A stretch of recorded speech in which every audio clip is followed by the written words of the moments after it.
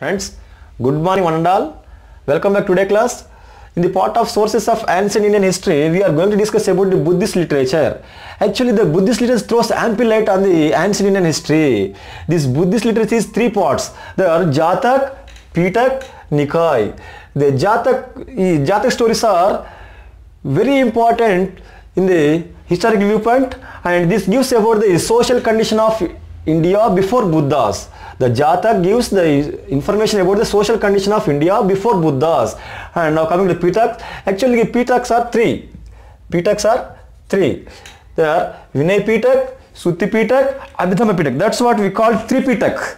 Pitaks are called three Pitaks.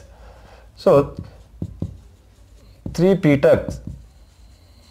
Vinaya Pitaka Sutta Pitaka Abhidharma Pitaka Vinaya Pitaka gives the information about the conduct of bhikshus this Vinaya Pitaka gives the information about conduct of bhikshus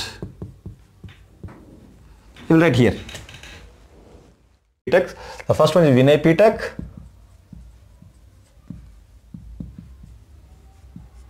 second one is Sutta Pitaka Third one is Abhidhamma Pitak.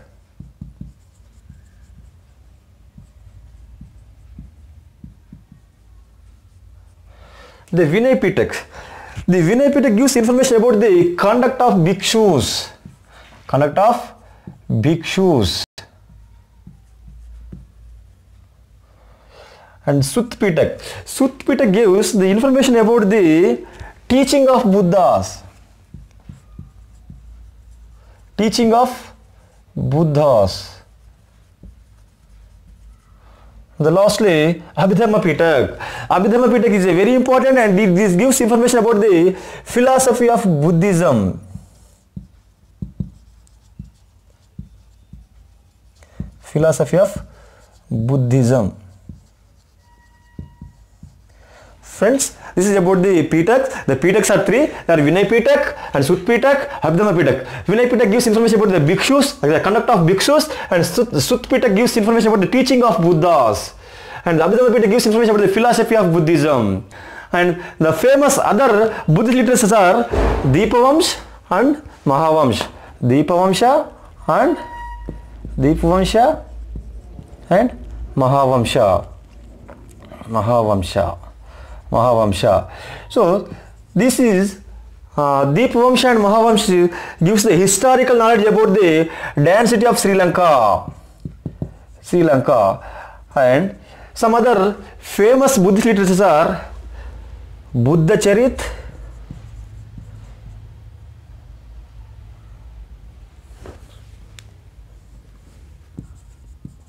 Buddha Charit written by Aswaghosh. Aswaghosh and some other. Friends all these literatures are written in Pali language. Pali language. Pali language. And some other uh, Buddhist literatures are Deepavamsh, Mahavamsh and Buddhist Charit, बुद्धि written by अशोगोस and Milinda Panha Milinda Panha Milinda Panha wrote Mahavibhasha Mahavibhasha and Lalita Vistara Lalita Vistara in Sanskrit Sanskrit. This is about the Buddhist literature. Now coming to the Jain literature. Friends, once again I am repeating you Buddhist literature. Actually the Buddhist literature are three parts Jatak, Pitak, Nikai. The Jatak gives the information about the social condition of India before Buddha and the Pitaks are three. Are called uh, Vinay Pitak, Sut Pitak, Abhidhamma Pitak. The Vinay Pitak gives the conduct of bhikshus and Sut Pitak gives the teaching of Buddhas and Abhidhamma Pitak gives the information about the philosophy of Buddhism. And the other uh, literatures are Deepavamsha and Mahavamsha. These are the uh, very important uh, historical knowledge give, given books and this Deepavamsha and Mahavamsha gives information about the density of Sri Lanka and the other uh, famous uh, Buddhist literatures are Buddha Charit uh, written by Aswaghosh and uh, Milindapanna wrote Mahavibhava and Lalit Vistar in Sanskrit language. The Buddhist literatures are written in Pali language.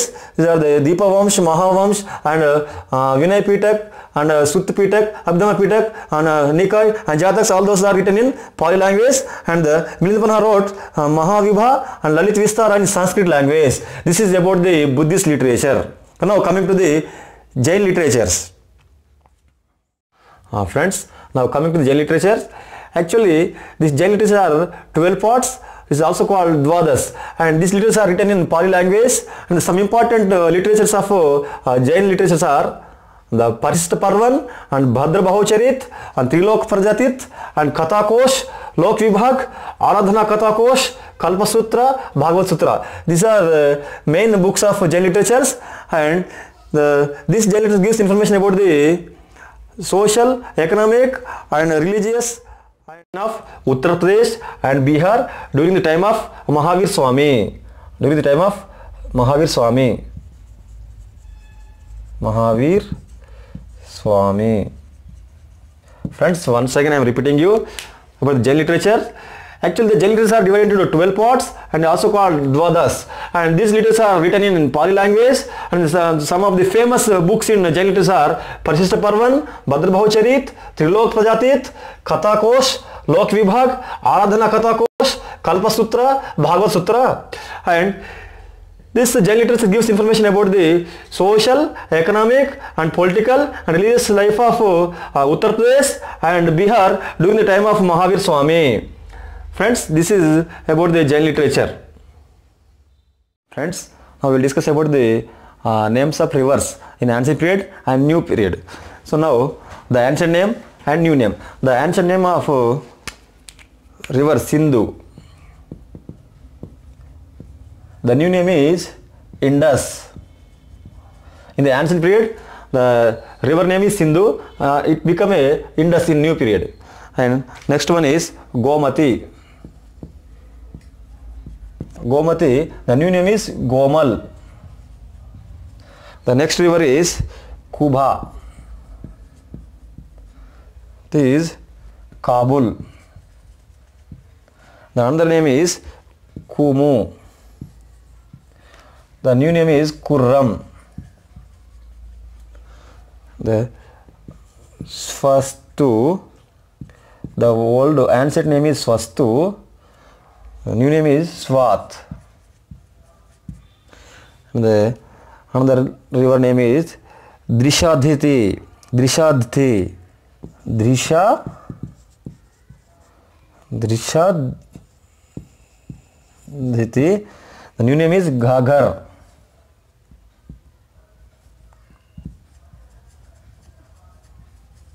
Gagar. The Saraswati. The, in the ancient name, Saraswati.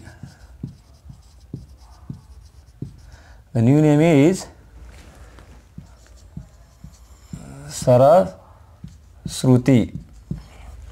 Another name is Vitasta. Vitasta. New name is Jhilam. Jhilam. Another river name is Askin. Askini. The new name is Chinab. Friends, these are the very very important. Some other uh, river name also there. I will continue after removing this. The ancient name of uh, this river is Vipasa. The new name is Vyas. And Sutadri, the new name is Satlej. And the Parushini, the new name is Ravi. Friends, once again I am repeating you. The ancient name of rivers and new name of rivers. The ancient name of Sindhu now become a Indus. And the Gomati, Gomal. Kubha, Kabul. Kumu, Kurram. Swastu, Swat. Dishadhati, Ghagar. Saraswati Saraswati Vitasta Jhelum Askini Chenab Vipasha Beas Shutudri Sutlej Parushni ravi these are the very very important for our exam point of view friends so this is about the name of uh, old rivers and new rivers now the battle of 10 kings was fought in the bank of parshuni in this uh, battle of 10 kings the sudas became victorious. Sudas became victorious. The Battle of Ten Kings was fought on the bank of Parshuni. Now, new name is Ravi. Ravi. And in this victory, in this uh, battle, the Sudas became a victorious. Friends, this is about the ancient names of rivers and new names of rivers. Okay, friends. Friends, once again I am requesting you, please watch my channel and I am giving very very important datas regarding all competitive exams. Please subscribe my channel and watch my channel and like it and share your friends and make them subscribe my channel.